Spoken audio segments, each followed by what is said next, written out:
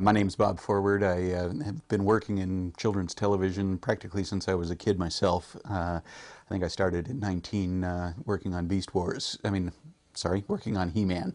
Uh, uh, I was a storyboard artist first. Um, uh, from then, I from storyboard, I moved into writing because I discovered that writing allowed me to cause the problems instead of trying to solve them.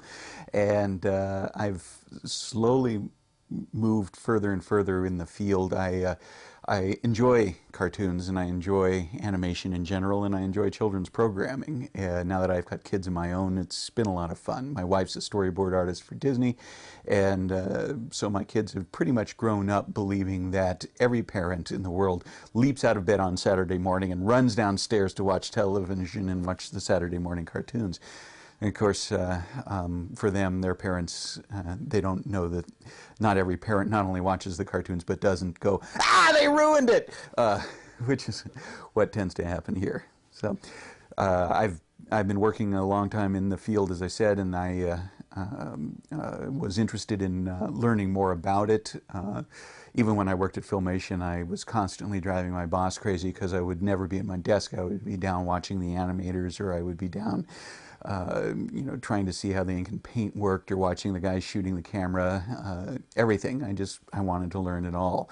And so uh, over the years, I've managed to do a lot of that. And uh, with Beast Wars, it was my first chance to actually try directing. I especially loved CG. Uh, once I started it, I just realized this this was a medium that uh, was a lot of fun. Um, it was a medium in which uh, unlike 2D, and 2D is great. I, I love 2D, um, but uh, uh, it's, it's its own medium. But the, the fact remains that whenever you're working in 2D, you're very aware that they did it better 50 years ago. I mean, for one reason or another, I mean, you, you look at what you do and, you know, it's pretty good.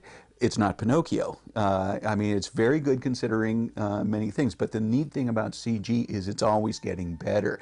And so everything that you're doing, every time you go into work, it was exciting because you'd be saying to yourself, we're going to do things today that have never been seen before. I mean, every day you were breaking new ground. Every day somebody go, look what I figured out. And, and you'd be looking at it, you're going like, that is really cool. And no one's ever done it before, at least not on a television budget. And so that was what made it exciting to work on a show like Beast Wars. And that was why once the, you know, uh, time for contract renegotiations contracts came up, uh, one of the writers in my contract was I wanted to direct an episode, and actually Mainframe was really great about it. They uh, they let me come up there. Uh, I lived there for four months. I worked with a very talented crew, and uh, I had a terrific time. Uh, uh, and in that process, I learned that it, directing is quite addictive, and I've been more or less trying to get chances to do it ever since. Larry DiTillio and I had a, a really good working relationship. Uh, uh, I think we complemented each other really well. Uh, Larry was very involved in uh, in the details, how things worked. Um, he really liked um, coming up with really interesting characters, really almost reprehensible characters sometimes, uh, and uh, and uh, he would always try and work out the rules of the universe that we were creating. I tended to kind of wing it more, I have to admit. Uh, I wanted to get right into the action. Uh, you know, uh, I'd rather not have characters sitting around and talking if I can have them speeding over uh, the landscape and talking while firing their weapons at the same time. It's you know, uh, it tends to run expensive that way, but eh, and from Larry, I, I, did learn a lot, uh, and from Beast Wars, uh, I learned, I think, more about writing character than uh, than I'd ever learned before. And part of that was simply because Beast Wars had such a limited number of characters that we we had to work with, such a limited number. We were always writing what we called inside the glass box. Um, uh, we, we felt like we were constantly enclosed in this glass box of we only have a certain number of sets, we only have a certain number of characters. Um, our job was to keep the audience always looking inward so nobody would notice how close against the walls we constantly were of what we couldn't do. Instead, we would concentrate, we would make sure that the story concentrated on what we could do and what we could do really well. And, you know, we had learned from the animators, and one things we could do really well was we got great acting out of those robots and those, uh, those animal forms. I mean, the, those guys at Mainframe were just tremendous animators, and it was, it was all keyframe stuff. You know, they were just really, really good at that that stuff. We learned we could trust them to give us expressions and, and things that would really sell the emotion of a moment. And um, because we you know, had a limited number of characters. We couldn't just constantly be doing shows in which we were introducing somebody's cousin or something like that. So instead, we uh, we just had the characters start to bicker constantly. So they were always on edge, and that just became really dynamic. And it's something that I've you know carried through ever since. Is just how neat it is if the characters aren't always agreeing with each other all the time. Uh, I think that kind of puzzled the fans at first uh, that were fans of the original G1 series because in the G1 series it was basically Optimus would issue a command and everybody would follow it and the same thing with Megatron. And and that had kind of a team player aspect to it but they had nine zillion characters they could mess with and they were you know had constant you know wars between huge armies. We had 14 characters. We couldn't budge on that. And uh, so our characters had to squabble a lot and in that squabbling it allowed us to really bring out some new, really neat aspects of those characters I'll be honest, when, we, when Larry and I started out, we did not know a whole lot about the Transformers universe. We didn't know there were news groups out there about it. We didn't know uh, uh, very much. We, we did know that Hasbro knew about it because they emphasized, they had these huge fan followings and we're like, yeah, yeah. And they said, oh yeah, we got these news groups, yeah, yeah. Um, but once we started working on it and we started messing with the Beast Wars uh, concept, I think I wrote the pilot without really knowing anything. Um, uh, but I made mention of a great war. Well, I just meant, you know, okay, there was this great war, and that kind of explains why the Predacons and the Maximals uh, were constantly fighting. I just and uh, but the at that point, um, Larry clued me into the news groups that he'd found about the alt.toys.transformers and other things that you found on the internet, and they were very excited, and they assumed that it was talking about the war between the Autobots and the Decepticons. Uh, and and we started to look at this stuff, and as we were reading the news groups, we were sort of lurking for quite a long time, just reading the fan reactions to stuff, uh, and and we can't help it. We're writers. We see little seeds here and there that we could sort of play in that actually help tie it into the original Transformers. And um, uh, neither a Mainframe nor Hasbro seemed to mind if we actually just sprinkled in these little seeds. And in many ways, we were dropping in seeds that we had no idea what we were what we were going to do with them, but they just seemed like good little flavors at the time. Uh, uh, one of the guys from Hasbro, Anthony, I believe, um, uh, had suggested a, a, golden disc from Voyager was was the reason that they had come to Earth this time, and uh, we didn't even know at the time whether we were going to put it in the past or whether it was going to be just a completely different planet altogether. We, uh, it was very hard to get a solid decision from marketing because they, they themselves were trying to figure out exactly where they were going with this show. Um, so we put two moons in the sky, figuring just in sort of a random way. It's like, okay, if we decide this is going to be Earth later on, we can always blow it, we'll blow up a moon. We'll figure out a way how to how to blow up a moon. And lo and behold, that's exactly what we ended up doing, and it tied into a huge story arc that made it look like we really knew what we were doing this whole time. And uh, frankly, no, we were scrambling constantly trying to go like, oh God, thank God we did this back here because now we can pull this up and, uh, and make it a big and important plot point that we had alluded to way back here. Uh, everything from the, just the little um, uh, Stonehenge type uh, rock formations that, uh, again, that was just some, we had one. Mainframe happened to have one around, so they threw it in there and we talked about it. and and lo and behold, we ended up with aliens and uh, the Vok and everything else, uh, and blowing, and that ended up blowing up the moon. Uh, but it it it, uh, uh, it really was. We were winging it constantly, and that was, if I may say so, something I was better at. Uh, was was just coming up with convincing reasons to make it look like we had actually known what we were doing.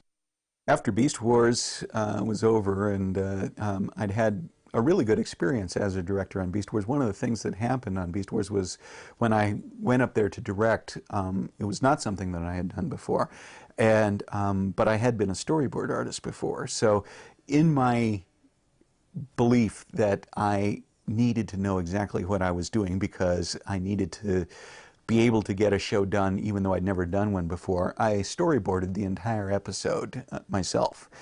Uh, that was not something that Mainframe had ever really done before. Occasionally they would do partial storyboards. Most often they would simply wing it. Um, uh, they would, they would, the director would try to explain to an animator kind of what he had in mind, and the animator would do it, and then they would tweak it around a little bit. No one had ever tried to do a storyboard in an animatic before, literally to shoot the storyboard so that it was 22 minutes and eight frames long, which was how long we were doing these things, and uh, and then just do those individual scenes. And to be honest, the the animators were a little resistant at first. They had never really dealt with it before. They quickly came around, um, and uh, what was unusual about it was we started in Act Three. I mean, uh, we actually started with the very hardest scenes because I knew they were going to take the longest to do, and if we couldn't do those scenes, there was no point in doing the show. I mean, we had to be able to do these scenes. Uh, the, you know, Dinobot getting just blasted, and, and, Walter built three different versions of. Walter was my uh, senior animator, uh, and uh, he built three different versions of uh, Dinobot in various stages of destruction, and uh, and you know, we we mapped out which ones needed to be used in which scenes, and and actually, I threw um, the management into a bit of a panic because we seemed like we were really really behind compared compared to the other crews. The other crews would start off with a lot of easy stuff. You know, uh, they would start from the beginning and work their way to the end, and they would take a lot of the dialogue stuff. Um, and uh, but what they didn't realize was that my crew was working on the very hardest stuff from the beginning. Towards the end, we were breezing through it, and they were starting to try and give us. I, I almost wanted to resist. You know, it's like, no, we can do it, and uh, and we literally finished a day early, which no one had ever done before. And the crew was so exhausted, they said, "Don't tell anybody; they'll make us go work on other crews." So, so we just everybody had to come in and they all had to sit at their desks, but nobody had to do anything. And everybody just like quietly, you know, uh, celebrated uh, uh, not having to work for a solid day. Um, uh, and, you know, it was a, uh, it was great, and uh, ever since, uh, Mainframe has used storyboards uh, constantly, and you know they they saw that there was a, a good reason for it, um, and and I took that experience and uh, moved over to supervising producer on a series called Dan Dare, which was done by uh, Foundation amongst other people, uh, and uh, used my experience there to. I, I was not the director, but basically I was the person on site to make decisions and and just with that show, we just had to get it done. I mean, uh, it had had financial difficulties amongst other things, and uh, it was very important. No matter what, you didn't go back. You didn't have to, you know, retakes. You just we couldn't do it. You know, it's like we had to meet the budget. We had to meet the time, and through that, um, uh, again, I was doing all the storyboard changes because nobody had nobody had budgeted for a storyboard supervisor. So basically, I had to do that. Uh, I, I had I wore a lot of hats on that episode, uh, on that series. But what that taught me was just I knew how to get things done, and uh, so when my kids actually started messing around with video cameras and, and starting trying to make their own movies, and and as kids always will get a little overwhelmed, they get lost. Um, but I had already been working with editing equipment. I, I already knew how to get stuff done. I said, you know, if we're going to do this, let's do one. And, uh, and there were Sure, why not? Uh, I had a son who was working as a, an older son who was working as a video editor who had showed me some neat things that could be done with uh, video compositing. I had a, a, younger son who was our, at that time a brown belt in karate. Um, uh, he had some friends who were willing to do fight scenes and uh, and we just knew that we could probably get away with shooting some cool stuff with toys. And the end result was we wrote a little short 15 minute film called Agent 12. And uh, over the course of about six months, we spent $900 and, uh, and we made a little short film that uh, is, given how cheap we did it, and we did the whole thing in my garage, um, it's pretty damn cool. And, uh, and the kids had a tremendous time. We all had a great time and we got it done, which I think uh, is what surprised people more than anything else.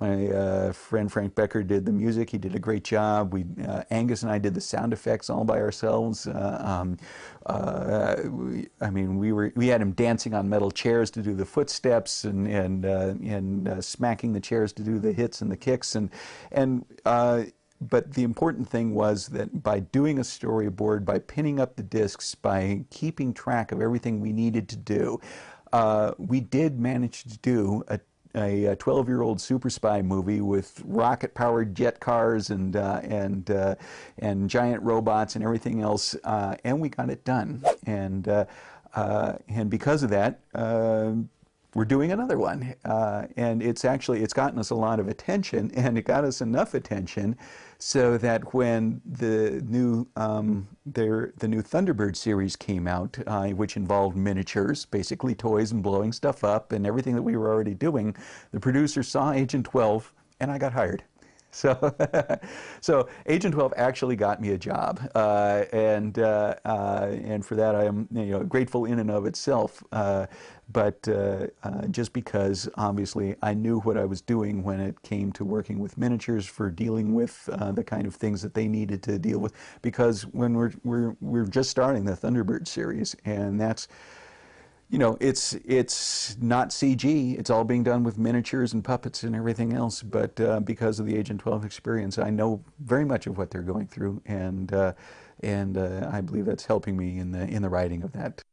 As far as a place in my career, Beast Wars has just got a big warm spot in my heart. I uh, uh, I don't think I've ever had so much fun working on a series. The amount of emotion that that, that Beast Wars uh, sponsored uh, still stuns me. I mean, I still, when I meet fans and they, and they just tell me how much it meant to them, um, it, it, it, it just, uh, I almost, I almost want to cry. I almost want to apologize. I almost want to say, I'm sorry. A lot of the time, I was just like jamming something out. You know, uh, uh, if I'd known it was going to like affect you this much, I would have worked harder at it.